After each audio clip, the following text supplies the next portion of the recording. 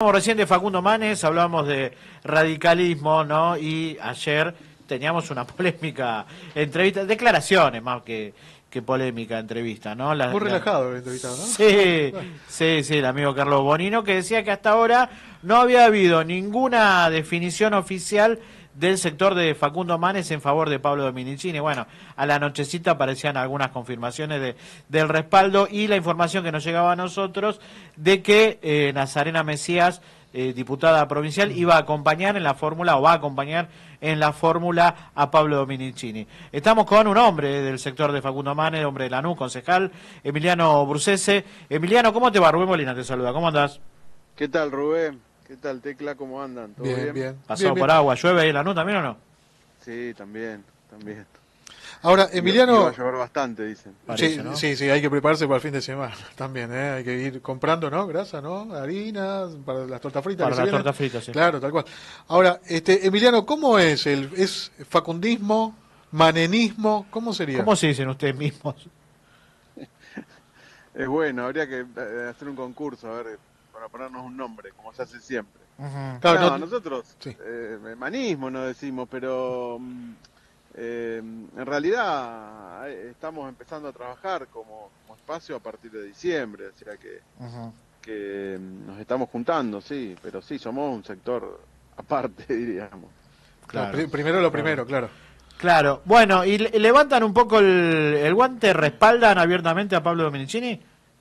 Sí, nosotros estamos respaldando. El día de ayer eh, fue un hecho político importante el paso de, dos diputados, entre ellos Pablo y la diputada Malaysia, al bloque eh, que integran otros diputados más referenciados con Facundo Manes, lo que configura eh, el bloque de diputados radicales más importante de la legislatura y a partir de esto confirmar, sí, ustedes, el acompañamiento a, a Pablo Em, en, este proceso interno que vamos a encarar, em, desde parte de nuestro sector y otros sectores más. Bueno, están, los sectores que se referencian en, Federico Storani, están los sectores que se referencian en Juan Manuel Casela, dos históricos. Mm. Hay otros sectores más eh, chicos también. Bueno, nada, armando un poco eh, todo este espacio eh, referenciado en un radicalismo que quiere salir de,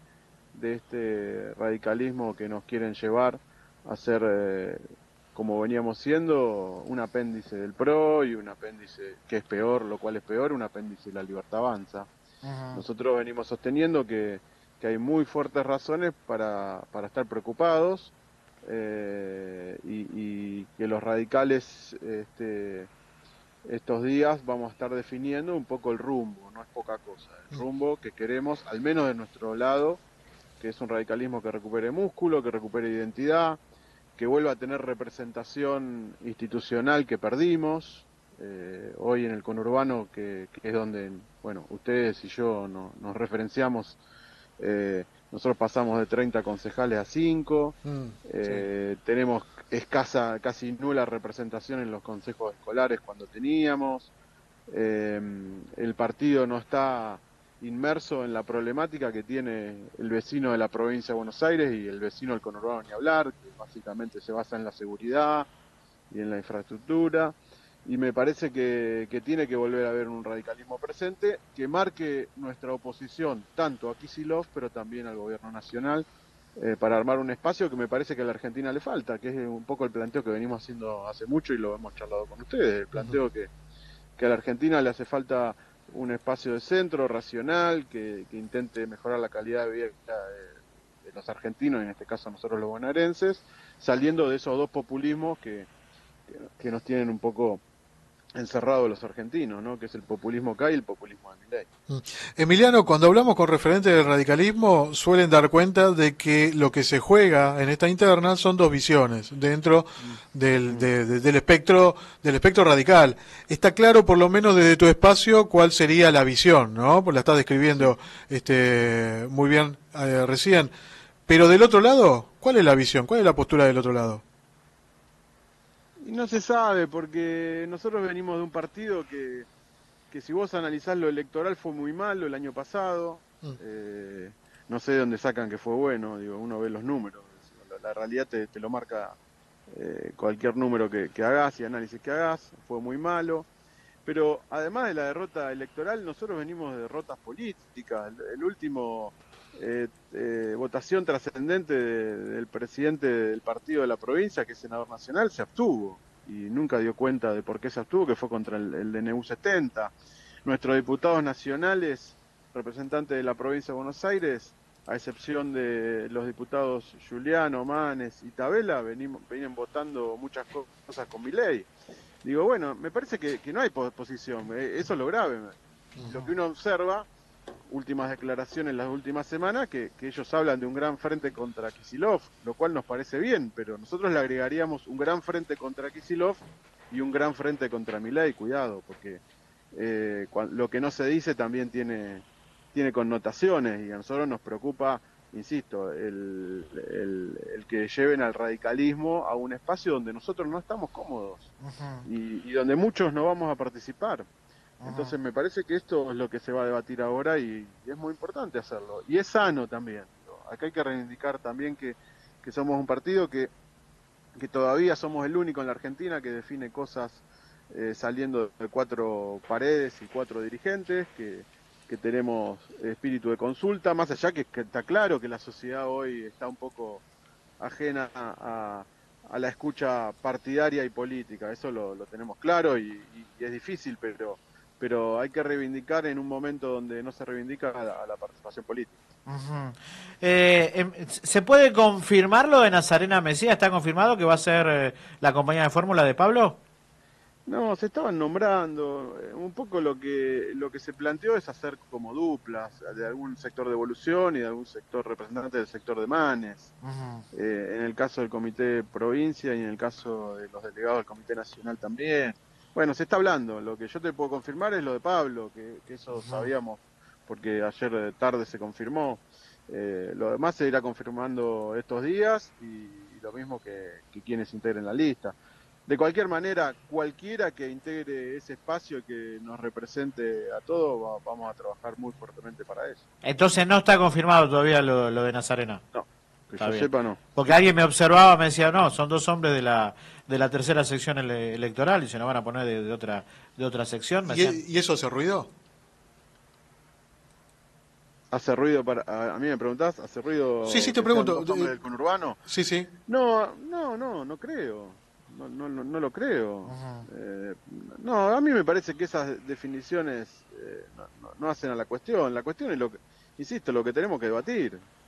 Eh, no importa quién encabece esto y, quién lleva adelante digo, el, proyecto. Es un proyecto colectivo. El radicalismo tiene que volver a, a tener debates mínimos, tiene que tener preponderancia, tiene que estar en los problemas de la gente que estamos totalmente alejados. No tenemos ni siquiera, ni siquiera declaraciones eh, de las autoridades políticas nuestras sobre cualquier tema que pasa en la provincia de Buenos Aires. Yo te hablo de, inseguridad porque la vivimos permanentemente en el conurbano, pero, pero tenemos que tener presencia, porque si no, es lógico que el habitante no tenga en su radar eh, a, la, a la Unión Cívica Radical. Entonces, me parece que tenemos que estar con los problemas de eso y dejarnos un poco eh, de ver a veces los problemas que tenemos nosotros mismos que, son totalmente secundarios.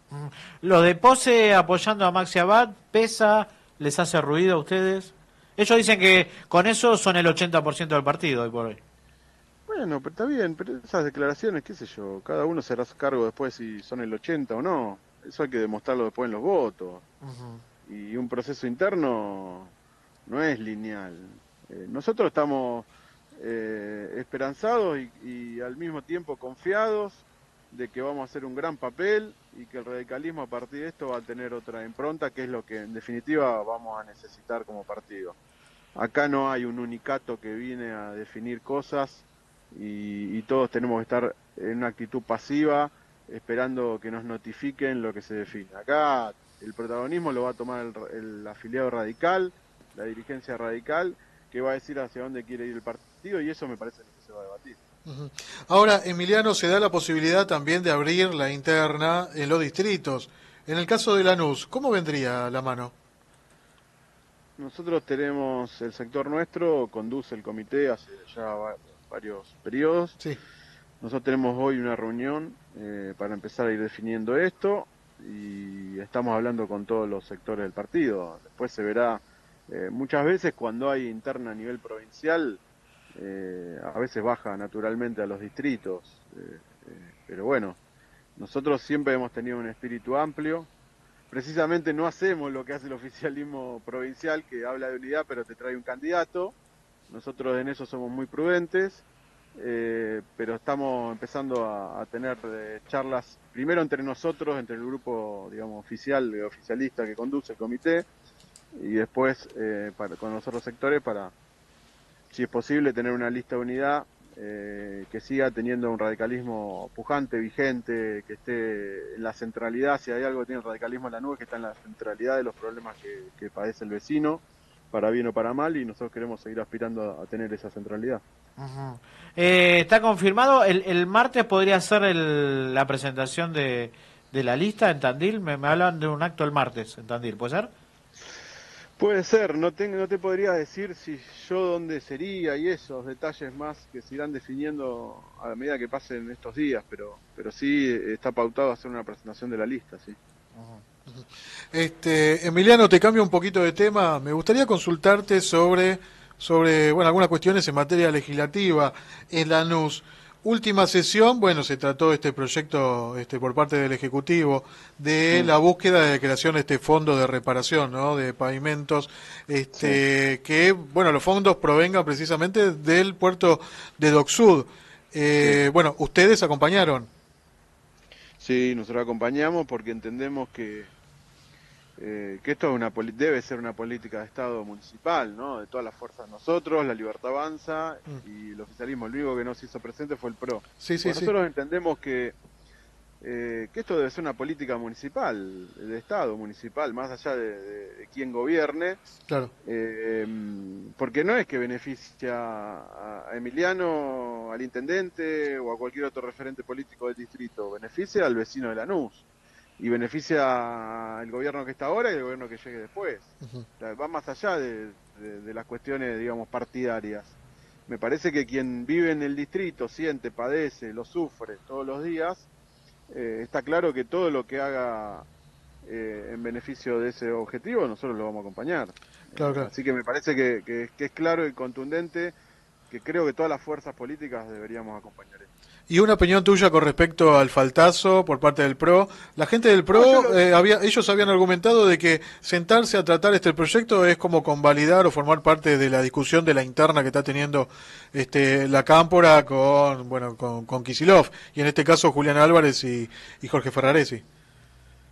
Sí, pero, pero ese no es el debate central. Eso es una, termina siendo algo secundario. El debate central es si uno es representante de los vecinos de Lanús, que para eso lo votan a uno. Yo no, yo no me pongo a ver la interna de, la Libertad Avanza o la interna del PRO o la interna de Unión por la Patria. Digo, me parece que uno es representante del distrito y todo lo que haga que sea bueno para el distrito hay que acompañarlo. Eh, a mí no me gustó, porque además eh, en el mismo momento sesionó en Quilmes eh, una se, se, sacó, de hecho se aprobó en Quilmes una resolución semejante a la que sacó el Consejo Deliberante de Lanús, y el pro de Quilmes acompañó. quiero decir, yo, yo tampoco me quiero meter, soy muy respetuoso porque tengo gente amiga de ese espacio del pro. soy muy respetuoso. Yo vi como un desacierto muy importante eh, el no acompañar. Porque después, después me parece que nosotros debemos exigir como oposición una política de Estado en otros temas. Por ejemplo, la seguridad.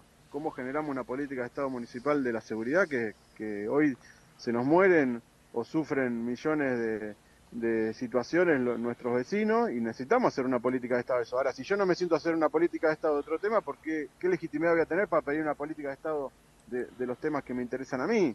Entonces, me parece que, esto, eh, por supuesto, tendrá que dar las explicaciones el PRO, nosotros no, no compartimos eso, nosotros creemos que acá, no, insisto, no debe haber diferencias partidarias, eh, hay que un poco sacarse lo personal o la propia interna de cada uno para acompañar a algo que es superador y que es en beneficio de los vecinos. En definitiva es eso.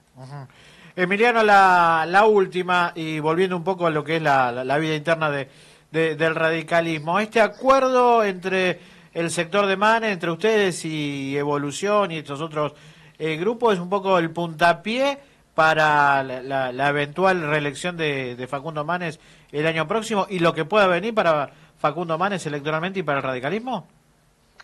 Nosotros tenemos una figura en la provincia de Buenos Aires que, que la envidian y pocos espacios políticos la tienen, que es la figura de Facundo Manes, que trasciende, de hecho, el radicalismo, es más amplia que el radicalismo. Nosotros lo que decimos es que, que tenemos que configurar un espacio el año que viene que sea más amplio que el radicalismo, que, vengan sectores del peronismo, sectores independientes, socialistas, sectores progresistas, bueno, independientes, por supuesto, eh, para confluir en un espacio que, que, debe hacerse en la Argentina, que es necesario, digo, yo, yo veo el gobierno nacional y, y sin hacer, haciendo análisis muy rápido, eh, veo que esto que decíamos nosotros en diciembre y que algunos nos miraban raro y decíamos no, que decían había que darle herramienta al gobierno nacional, nosotros decíamos esto termina mal, eh, lamentablemente va a terminar mal este gobierno, va a terminar, es un gobierno que excluye, es un gobierno que no tiene eh, sentido de humanidad ni solidaridad por el, por el con nacional ajeno. bueno, nada, todo esto termina mal y necesitamos, la Argentina necesita tener una salida que no sea volver al pasado, y, para eso hay que construirla. Por eso digo, eh, nosotros vamos a trabajar muy fuertemente para que el radicalismo sea parte eh, fundamental de ese espacio que hay que configurarse. Eh, por eso también estamos en esta pelea interna, que insisto, si bien es secundaria, es importante porque nos va a marcar hacia qué dirección vamos a ir. Te robo una última cortita, dijiste progresismo y ahí asocié automáticamente a Ricardo Alfonsín. ¿Alguna reflexión de, de, la renuncia al radicalismo y el acto que encabezó ayer? No, eso, es, eso fue una formalización de algo que ya había pasado hace mucho tiempo. Eh, Alfonsín dejó de pertenecer a la vida interna del partido hace, eh, te diré, hace cuatro o cinco años ya. Eh, entonces, nada, no, no, nosotros no vamos a estar en ese espacio, así que tendrán que ser ellos que quienes vean el futuro de ellos mismos, pero pero no, no, ninguna reflexión.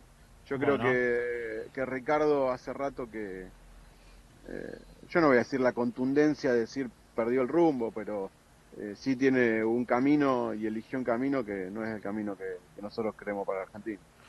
No, vos decís, Emiliano, ahora para, para terminar, me quedo con esto último, no compartir el espacio de Alfonsín. Eh, Alfonsín lo que busca, junto con otros sectores, entre ellos Libre del Sur, lo tenemos, ¿no? No sé, ¿se cortó ahí?